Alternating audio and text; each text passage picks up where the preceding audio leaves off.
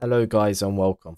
In today's video, we are going to take a look at day one of TryHackMe's Advent of Cyber. So if we just scroll down a little bit here, what we want to do is get the machine started, which we are going to connect to. So I will be connecting to this via my Kali Linux machine. So in the top right corner, I'm going to link a video on how to set up the VPN to connect to Try and Hack Me. So the first part of this is to investigate a website. So the website is a YouTube to MP3 converter.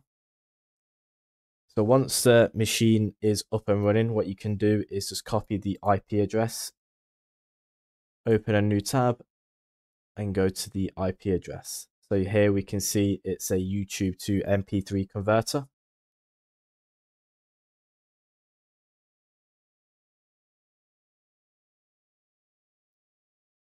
So what we have got here is a link to a YouTube video. So what we want to do is copy this link. And what we're going to do is convert this YouTube video into an MP3 file. And then we're going to click here, download file. And there we can see it's downloaded a zip file. So what they're asking us to do is to go into our downloads folder and just extract that zip file.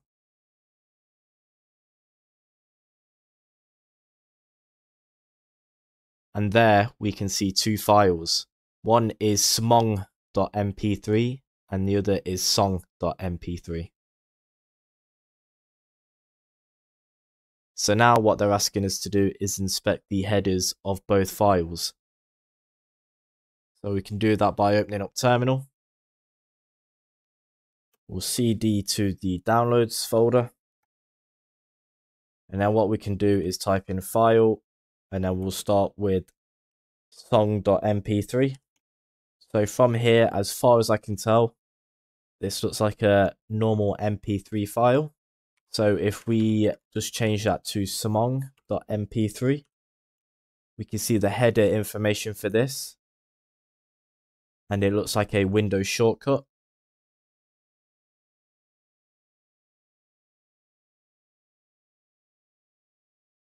And it looks like the shortcut points to a PowerShell script.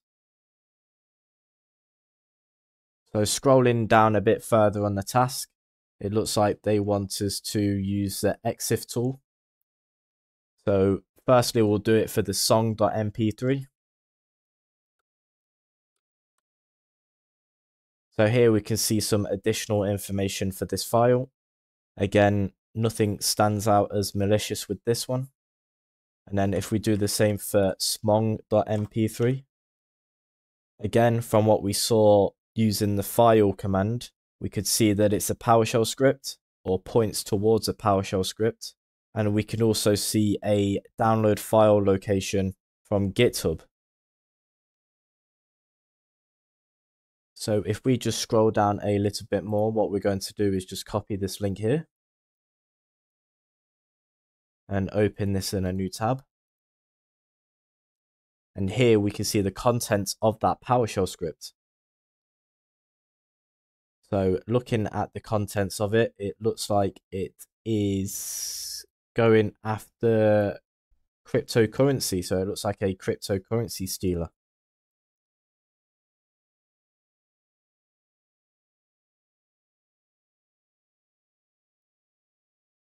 Also, as well, it looks like it captures login details saved from browsers.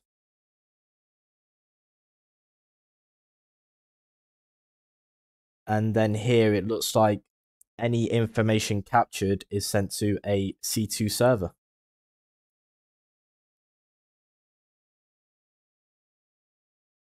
So here we've also got it on the text here saying that the script is to steal cryptocurrency wallets and saved browser credentials. It looks like on the script there was also a signature that states created by the one and only m.m. So if we just visit the script again, we can see that there.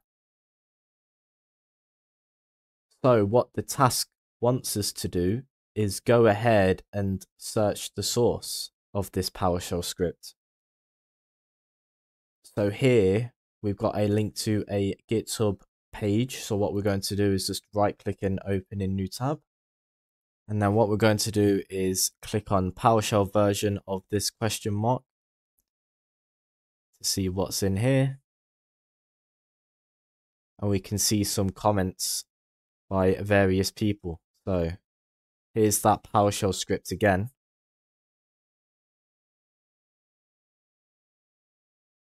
So it looks like that this is the malicious actor with the PowerShell script. So if we click on his GitHub page,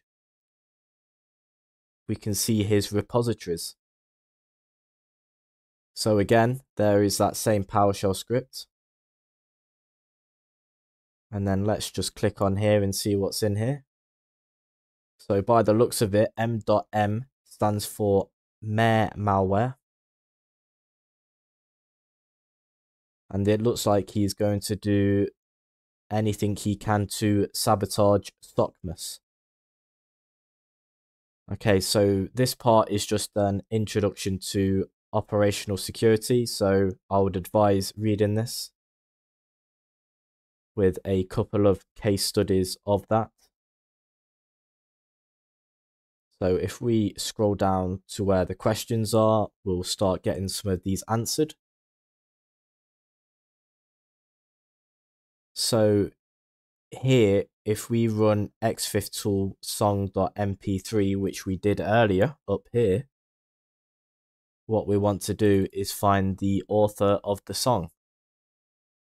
So if we go through here, we can see artist. And it looks like we've got Tyler Ramsbey.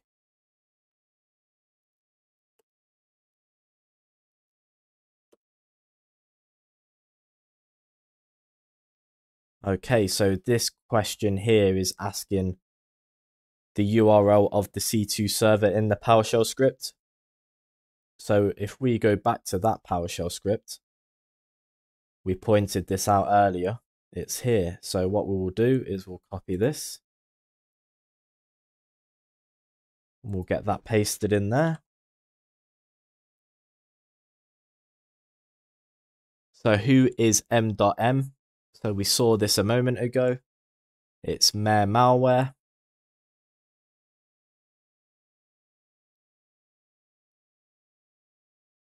And then here we've got a question asking how many commits are on the GitHub repository. So what I'm going to do is just use the hint to get there. So if we just go back to GitHub, we'll just paste in the link on the hint. And we can see we've just got the one commit there.